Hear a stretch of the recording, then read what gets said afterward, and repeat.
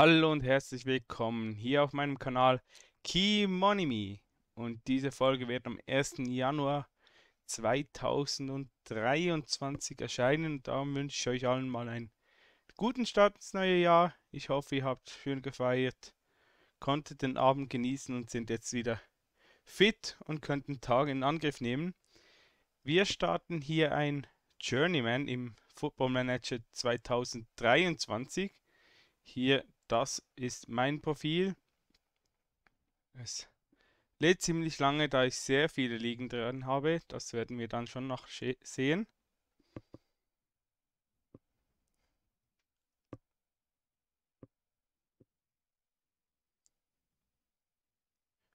Ja, eigentlich ziemlich lange. Ich habe hier schon mal versucht, die Nachrichten rauszulöschen dass der Startbildschirm nicht immer so lange zu laden hat. Ah, es hat nicht ausgewählt. Okay, das bin ich hier. Nils Sterchi ist mein Name, alias Kimonimi, geboren am 8.9.1998 in Deitingen. Ich bin aktuell arbeitslos, bin Hobbyfußball, habe keine Lizenz ausgewählt, also wirklich das Tiefste, das man haben kann. Ähm, eben, sie haben den Ruf von jemandem ohne nennenswerte Erfahrungen im Fußball und beginnen auf der untersten Sprosse der Leiter. Wenn sie von einem geduldigen Vorstand Zeit bekommen könnten, werden viele andere Vereine bei den ersten Anzeichen von Schwierigkeiten dazu neigen, das Zepter in eine erfahrene Hand zu geben. Ich starte hier in der Schweiz, da ich auch Schweiz bin, kann Schweizdeutsch, Hochdeutsch, Englisch, die Grundkenntnisse, und so starten wir eigentlich hier. Eben die Attribute konnte ich nicht viel verändern.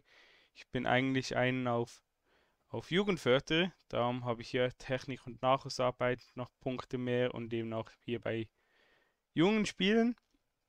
Und wir gehen doch mal aufs Arbeitsamt und schauen mal, was hier so gibt. Wir werden hier nur die Trainerjobs anzeigen lassen.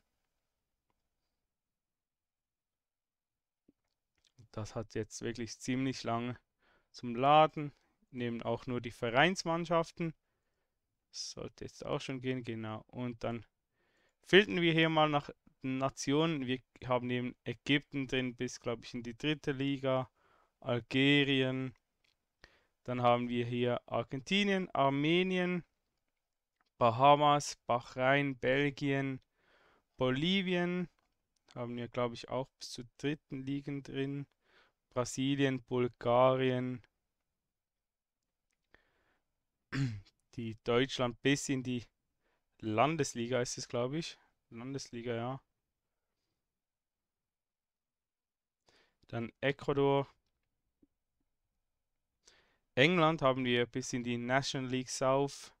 Estland, Frankreich, Gibraltar haben wir drin, glaube ich, zwei Ligenstufen. Hongkong, Indonesien, Island bis in die, die vierte Liga, also fünf Ligenstufen. Italien bis, glaube ich, in die dritte Ligastufe, glaube ich, so viel wie mir ist. Dann Japan, dann Katar haben wir mal drin. Einfach mal zu schauen, ob wir hier etwas auch reißen können, wenn wir halt dann extrem viel Geld haben. Dann Kroatien, Kuba, Lettland, Luxemburg, Malaysia dann Mexiko, Neuseeland, Nordirland, glaube ich, vier Ligenstufen, Norwegen, Panama, Polen, Puerto Rico, Rumänien, Saudi-Arabien, eigentlich aus dem gleichen Grund wie Katar, dann Schottland, Schweden, die Schweiz, Spanien, Südafrika, Holland, glaube ich, bis in die vierte Ligastufe, Tschechien bis in die vierte Ligastufe, Tunesien. Dann haben wir hier USA noch drin, Venezuela und das war es dann.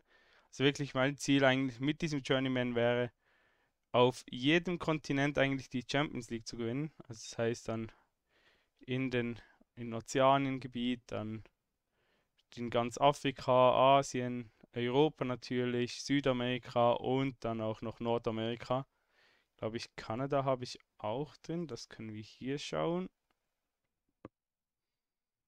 Genau, und jetzt gehen wir da mal runter. Das ist Gibraltar. In vielen Ligen habe ich auch einfach nur betrachtbar, damit wir die Liga-Tabelle sehen können. Aber spielen können wir diese nicht. Äh, ich glaube, wir haben Kanada drin. Da, genau. Kanada wäre spielbar. Die Canadian Premier League. Also da haben wir entweder USA, Kanada, glaube ich, Mexiko ist auch noch da. Die haben wir drin. Wir haben 254.000 Spiele. Und dann starten wir doch mal in das Abenteuer. Wir haben hier immer noch gefiltert und bewerben uns mal überall. Mal schauen, wo wir überhaupt alles Angebote kriegen. Über 200 Bewerbungen verschickt. Und überall jetzt einfach entgegengenommen und mal schauen, wer uns zu einem Vorstellungsgespräch Gespräch einlädt.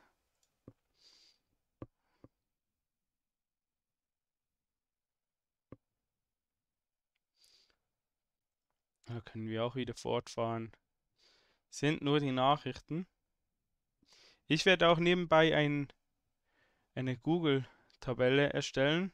Die werde ich euch dann zur Verfügung stellen.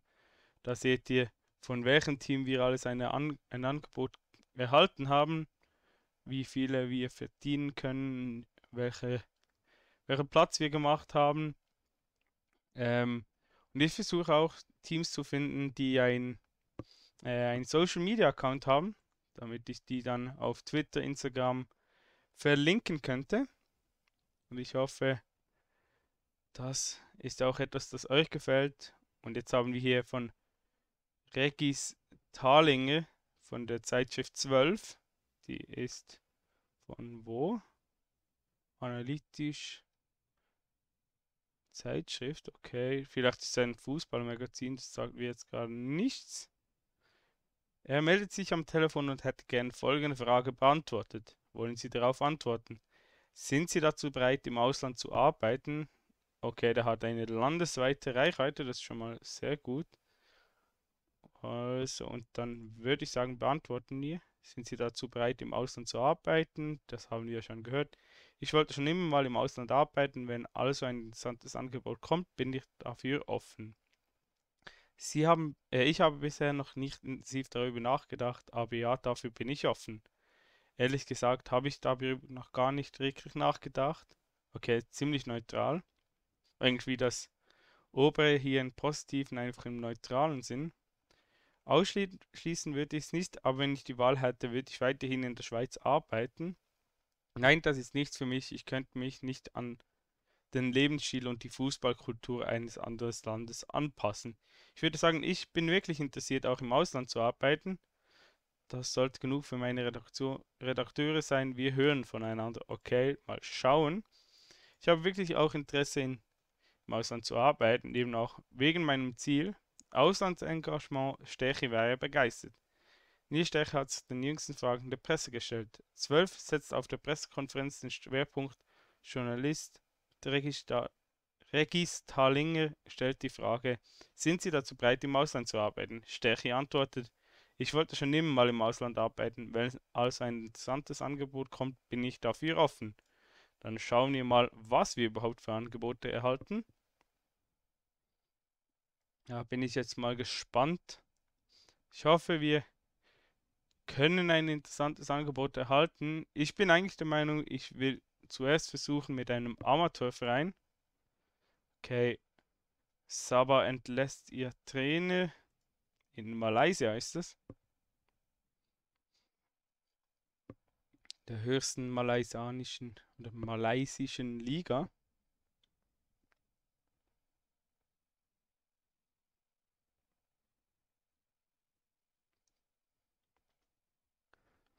Natürlich hat jetzt auch die, die Ladezeit extrem lange, da ich halt auch so viele Länder drin habe. Nordirland sucht einen Nationaltrainer. Botswana sucht auch wieder einen Nationaltrainer.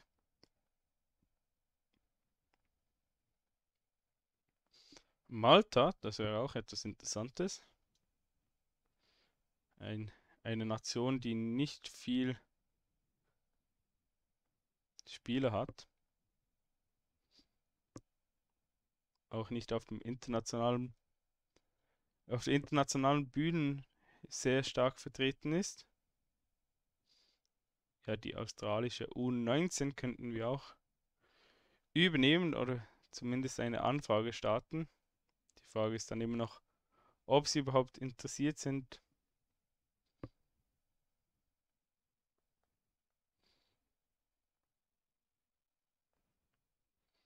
Ja, jetzt werden, glaube ich, dann einige Angebote oder Absagen reinflattern. So, vier Nachrichten. Kampen bei Kielsas. Das ist Norwegen. Die zweite, glaube ich. Zweite Liga. Das ist. Nein, die dritte Liga. Okay, auf der dritten Liga. Und dann Flo bei Sognald. Auch wieder in Norwegen in der höchsten. Nein, in der zweithöchsten Liga. Aber die haben, glaube ich, schon wieder hm? Nein, die haben schon wieder ein, ein Trainer. Oder bin ich jetzt... Ah, vielleicht übernimmt er nur... Übergang... Ah, Übergangstrainer, okay. Running bei Levanger. Auch, glaube ich, Norwegen, ja. Independiente Petrolero. Okay, das ist Bolivien. Das ist auch interessant. Die haben, die haben 3,17 Millionen Budget. Okay, die spielen auch in der ersten Liga. Dann schauen wir mal, was wir für Angebote erhalten. Es wird mich natürlich reizen, bereits einen großen Verein zu haben. Aber ich muss auch sagen, einfach für die Realität ist das nicht machbar. Wir müssen wirklich von unten anfangen und uns hocharbeiten. Wirklich ein Amateurverein wäre schon mal etwas zum ersten Erfahrung sammeln. Natürlich hätten wir dann die ein oder anderen Probleme, da wir nicht häufig trainieren können, keine Gehälter zahlen können, die Spiele jederzeit von einem anderen Club abgeworben können aber das wird mich trotzdem ein bisschen reizen,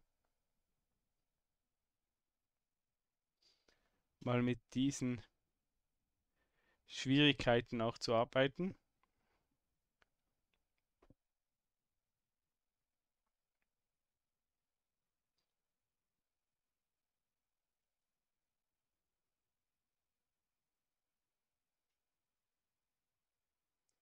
So. Martin bei Selfoss in Island entlassen worden.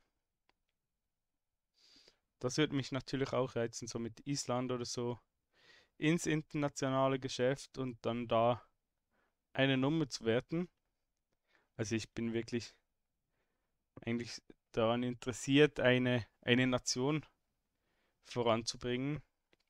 Wir versuchen dann wirklich eine eine zweite Nationalmannschaft zu machen in, in den eigenen Reihen und viel auf die jungen Spieler zu setzen, diese dann auch zu entwickeln, teuer zu verkaufen, den Verein zu, zu fördern, was dann auch wieder bessere Jugendspieler gibt und diese dann auch das Land verstärken können. Das ist wirklich so meine, mein Ziel und eben mit jeder mit jedem Kontinent ein, ein Champions League-Titel zu erhalten.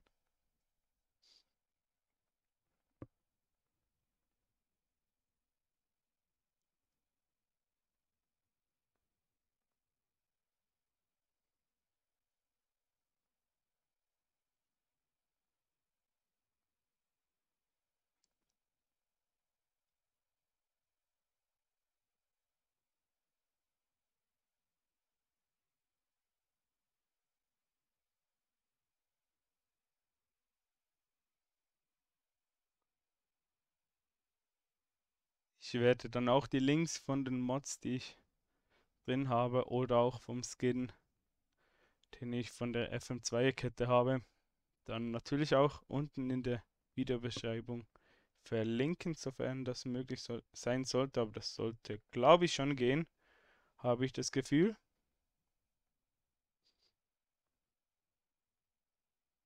Dann bin ich mal gespannt, welche Nation dann das Ziel von uns wird. Welches Team sich dann für uns entscheidet und uns auch diese Chance gibt.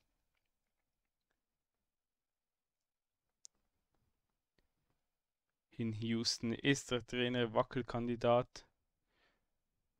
Das ist auch so etwas, ich denke so, Amerika bin ich noch zwiegespalten, ob ich da wirklich ein, ein Team übernehmen möchte.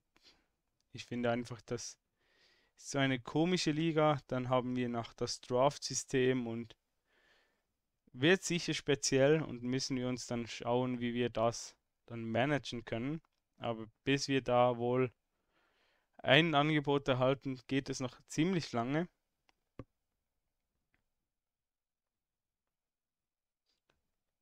Und Real Madrid will mit Benzema den Vertrag verlängern.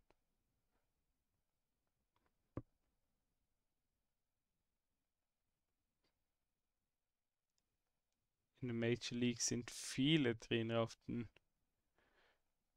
auf den Wackelstühlen.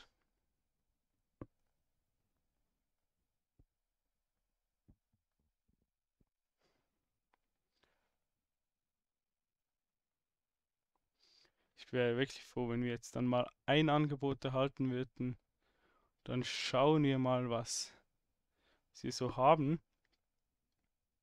Es wäre natürlich schön, wenn wir schon ein Team hätten, das ein paar Spieler hätte, damit wir auch schon mal wissen, mit was wir arbeiten müssten und nicht noch Spiele zuerst suchen müssen, damit wir überhaupt spielen können.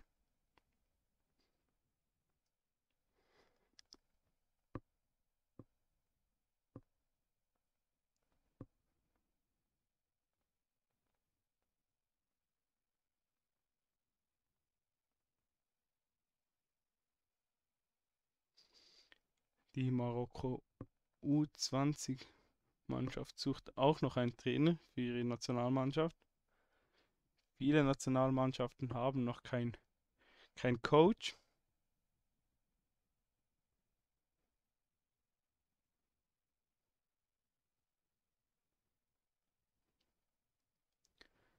Young Boys wollen den Vertrag mit Fasnacht verlängern. So, Friedje bei IFK Eskilstuna entlassen. Ist denn das in Schweden? Der vierten Liga. Yasim Rosengard, auch wieder Schweden. Das denke ich mal auch wieder Schweden. Ariana, Schweden. Fannesborgs FK, auch in Schweden. Das können wir eigentlich immer so ein bisschen Team Toren, auch in Schweden bisschen so ähm, gruppieren, dass das eigentlich immer ein Land ist, um mehr. Dann gehen wir doch wieder weiter und schauen, ob wir jetzt dann mal ein Angebot erhalten. San Jose wäre ein verfügbarer Job, den wir annehmen könnten. Ja, beziehungsweise wir uns mal bewerten könnten. So, da gibt es nichts Neues. So, also.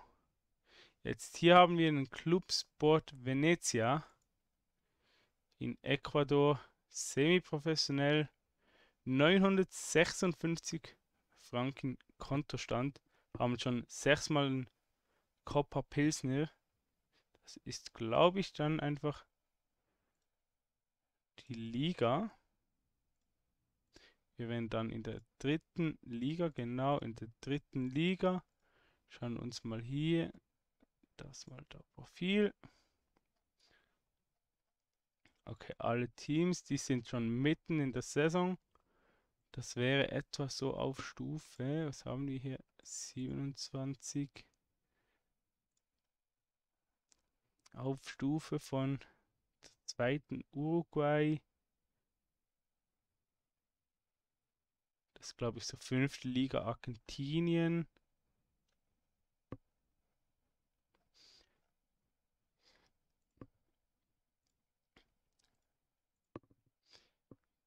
Nach ihrer Bewerbung für den Posten beim Club Sport Venezia hat sich der Vorstand zu einem Vorstellungsgespräch eingeladen, um die mögliche Zusammenarbeit zu besprechen. Trotz der angebotenen Vorstellungsgespräch hat der Vorstand Bedenken, ob sie die Ziele des Vereins verwirklichen können.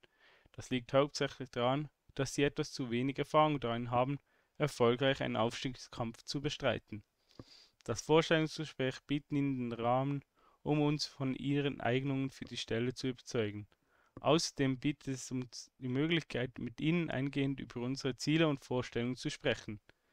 Okay, das wäre dann mal in Ecuador. Keine Spiele, dann muss ich halt wirklich sagen, das ist mal nichts für den ersten.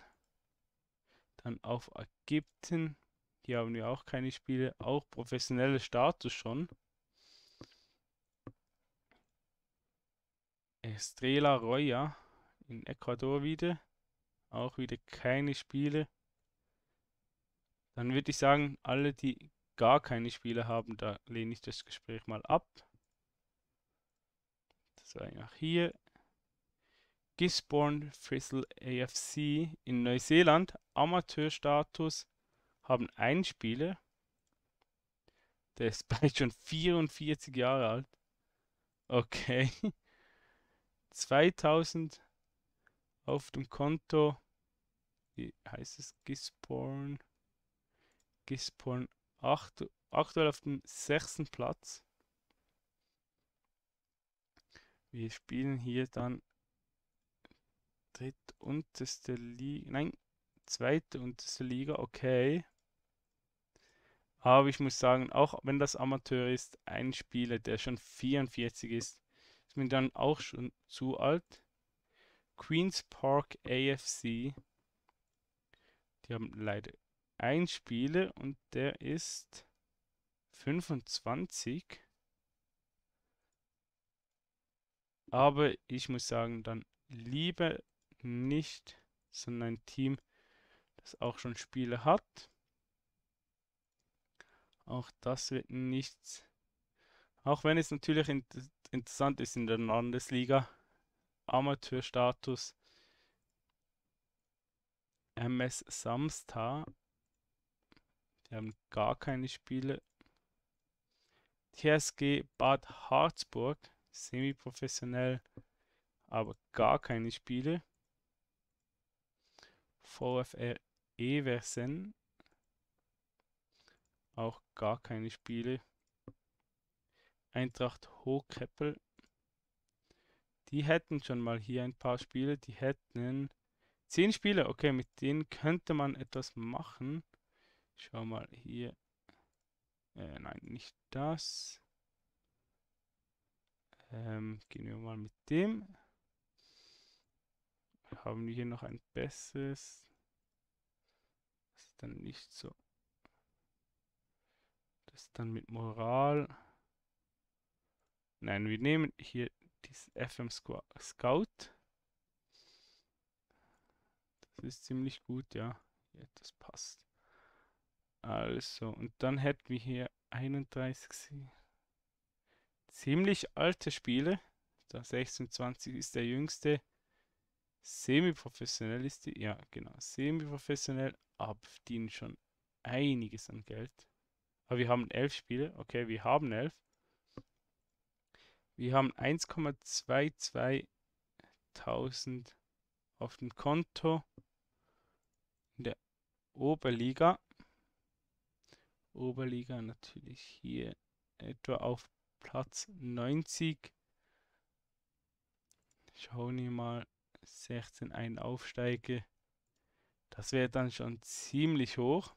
Aber ich denke mal, wir behalten das mal noch im Augenblick der Westfalenliga nur ein Spieler, der ist 24.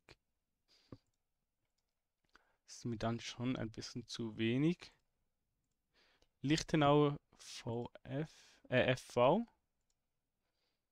Drei Spieler haben diese in der Verbandsliga. Vargas Torres. Auch nichts. Deportivo Coca. Die sind sicher von Coca-Cola gesponsert. Dunamis. Auch nichts. Auch nichts. Athenas FC in Ecuador. Noha in Lettland. Die haben 1, 2, 3, 4, 5, 6. 6 Spiele. Alle ziemlich jung.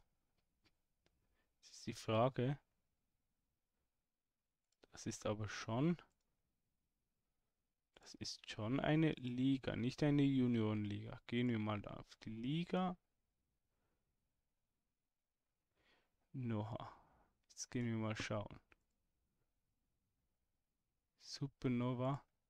Ist das unser Partnerverein?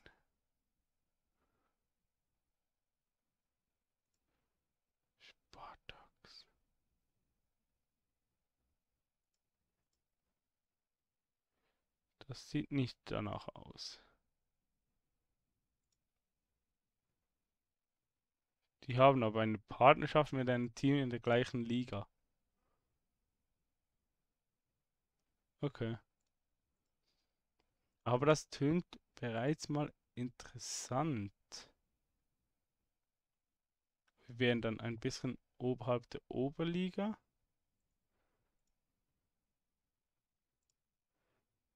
Aber wir könnten hier natürlich noch ein bisschen weiter runter. Schauen wir mal. Okay, schon ein professioneller Status. Das ist mir dann wieder ein bisschen zu weit. Also maximal semi-professionell, würde ich sagen. Sonst ist es ein bisschen unrealistisch. Die haben drei Spiele drin. Amateur. Island würde mich natürlich auch reizen. RB. Auch wieder Island. Die haben so, eins, zwei, so. Haben sie hier unten noch einen. Die haben elf Spiele. Semi-professionell. Das würde mich natürlich auch noch reizen. Das ist nichts. Die haben viele ausgeliehen.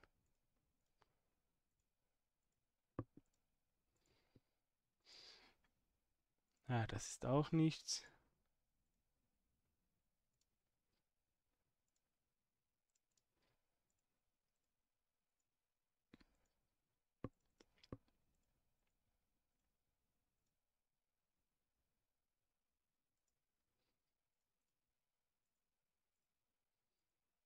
Real Sociedad in Ecuador.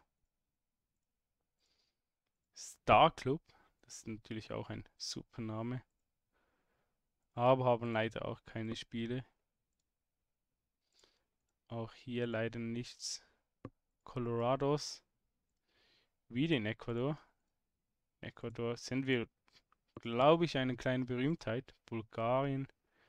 Nur ein Spiele.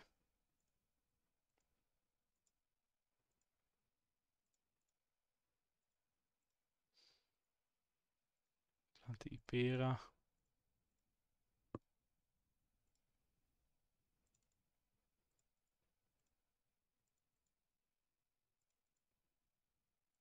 In Tunesien auch keine Spiele. Da hätten wir jetzt zwei Spiele in Ecuador wieder. Wieder in Tunesien drei Spiele hätten wir da. Wäre wieder ein Amateurverein.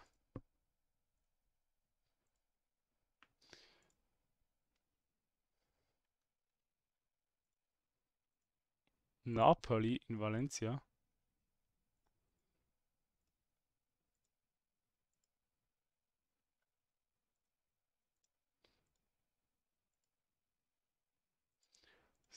La Familia in Ecuador. Leider keine Spiele, aber sonst wäre es natürlich interessant gewesen. Zu La Familia.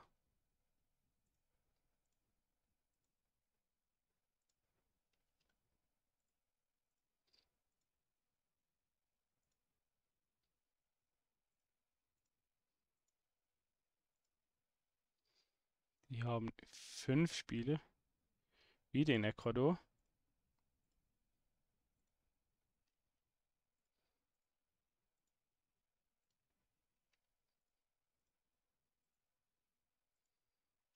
Tunesien,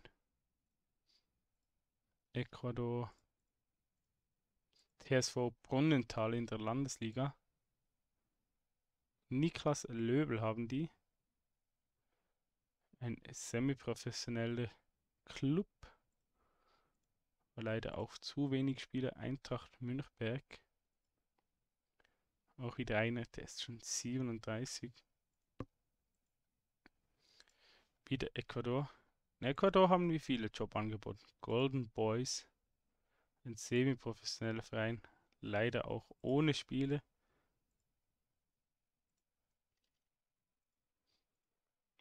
Specs in Lettland in der zweiten Liga. Die haben vier Spiele, ein semi-professioneller Verein. Ist dann auch wieder ein bisschen zu viel.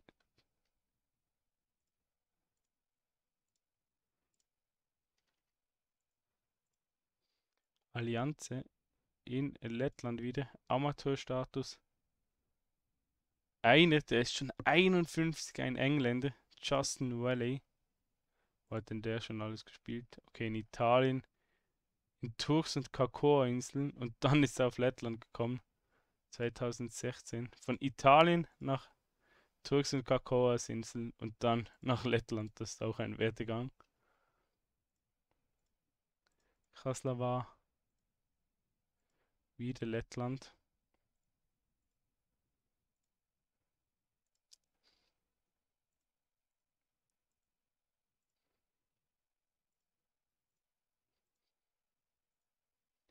Ecuador Scorpion FC. Spartos. Alias Sport in Tunesien hatten wir gar keine Informationen, auch hier nicht. Wir Michigan, oder wie man dem auch sagt, CS Haseku, auch wieder Tunesien. Tala Sport, auch in Tunesien leider keine Informationen. Kerehan, Tunesien. Villarreal Sociedad in Bolivien. Argentinos Junior Einspiele. US Genie. Leider auch nichts. Auch nichts.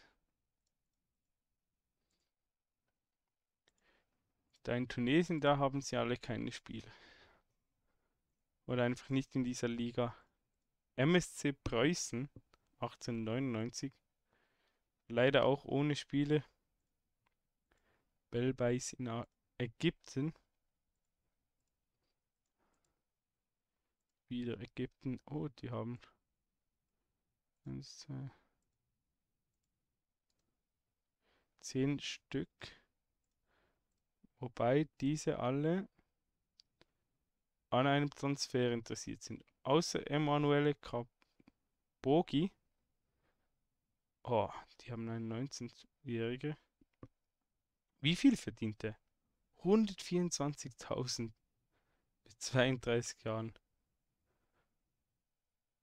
Das ist ja mal etwas. Aber das ist, glaube ich, nicht etwas für mich. Die sind auch schon auf professionellen Status. Ich sehe jetzt mir nur noch die Status an, semi-professionell. Keine Leute. Äh, die sind ja semi-professionell. Shaka. Automaton. Sporting Kassel. Abu Kabir. MS Edfu. MS Abu Test. In der Schweiz gibt es einen Ein Unterricht in der Berufsschule, der nennt sich ABU, ist eine Abkürzung für allgemeinbildenden Unterricht. Und ein Test, das wisst ihr selbst, könnte man meinen, es kommt von da. MS Italy. Die haben aber alle auch fast die gleichen Namen. Denkst du, denkst dir auch jedes Mal, du spielst gegen deine Reserve oder gegen deine Jugend? Muntaza, wieder in Ägypten. MS Azza.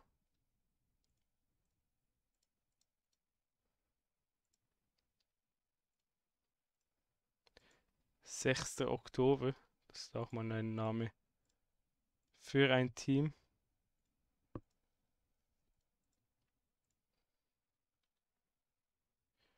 Zwei Spieler in Ecuador.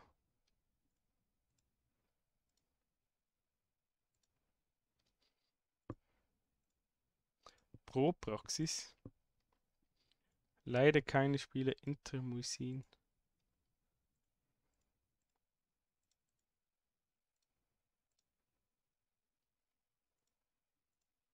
Liverpool in Ecuador.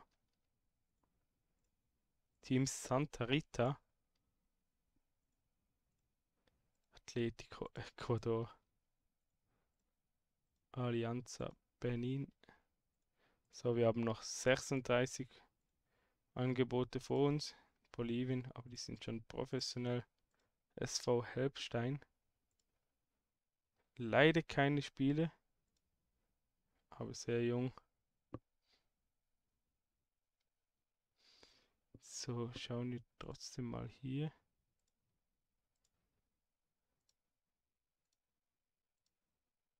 Da haben wir leider nichts drin.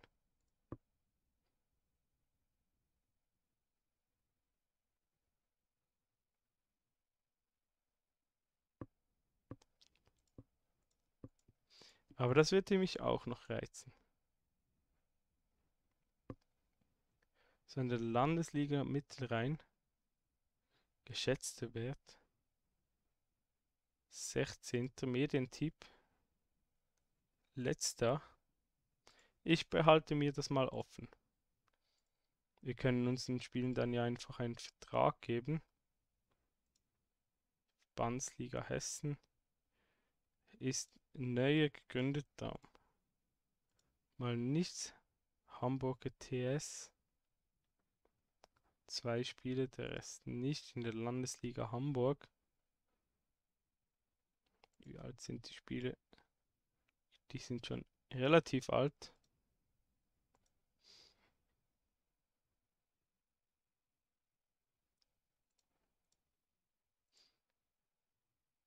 Das ist auch mal ETSV Hamburg. Okay, die hätten jetzt etwas Potenzial. Die hätten wirklich eine lange Tradition. Das wäre wirklich etwas.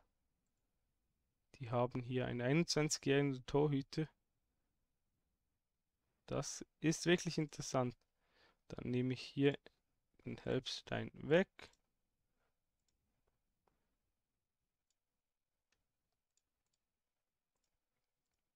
TSV München 1869.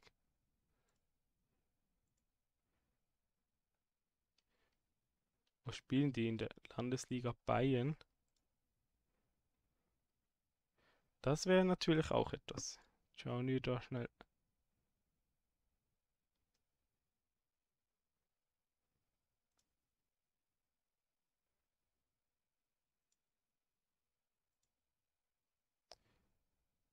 Die haben, haben natürlich schon hier ein Spieler. Typ 16. Okay. Ja, dann nehmen wir hier diese und die sehen wir ab.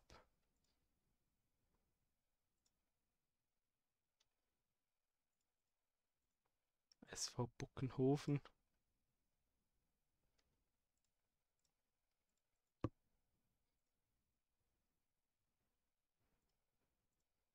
Niedersachsen-Düren.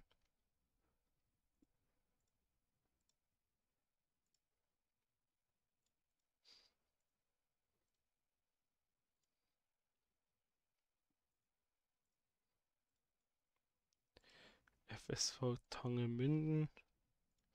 Leider auch nichts. Köthener FC. Radfelder SV.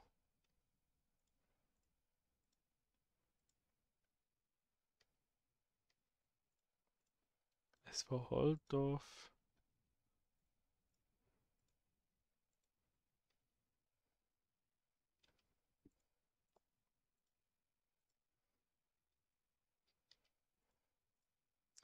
Türkspor Dortmund. SV Hemsberg. Horny. Ein semi-professioneller Verein aus Tschechien. Al-Hilal Aswan, wieder aus Ägypten. Siut. Dann kommen wieder diese MS-Vereine aus Ägypten. Genius.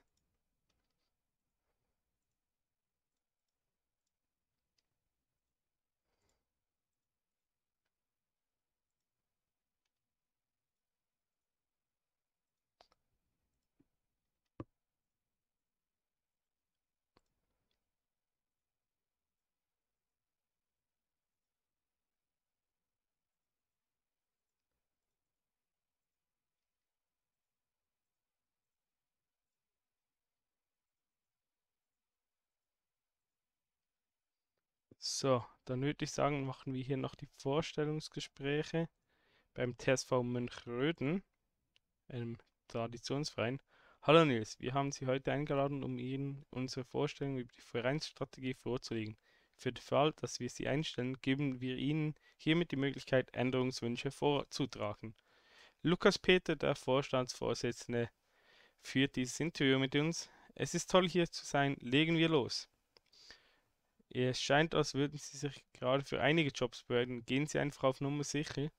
Ich gebe zu, dass das keinen guten Eindruck macht, wenn ich den anderen Verein für eine ernsthafte Chance auf diesen Job absagen muss. Dann werde ich es tun. Ich versuche alles, was ich kann, um weiter voranzukommen. Ich wäge bloß meine Optionen ab.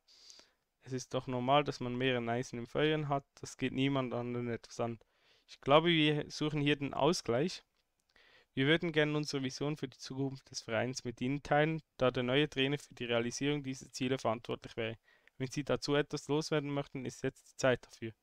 Okay, auf und abseits des Blatt verbessern. Den Klassenerhalt konkurrenzfähig im bayerischen Pokal. Also und einfach nie absteigen, das denke ich wird machbar sein.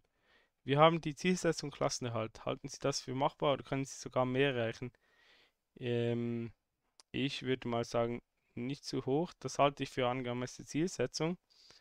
Gibt es irgendwelche Anliegen, die wir prüfen sollten, wenn wir uns entschließen, sie einzustellen? Nein, danke. Das ist das erste alles. Vielen Dank für das Kommen. Wir bleiben in Kontakt. Also, das ist mal den TSV Mönchröden. Wir haben jetzt da die anderen Vereine.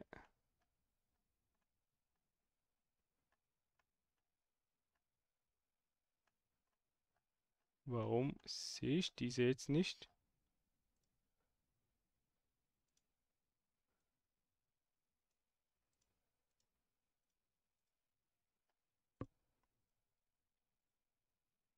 Das war ja da, glaube ich, so weit unten oder nicht?